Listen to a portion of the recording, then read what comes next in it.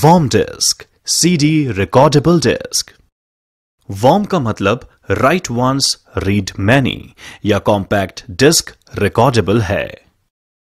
CD recording drive के माध्यम से वॉर्म डिस्क या सीडीआर डिस्क में हम एक बार ही डेटा को स्टोर कर सकते हैं।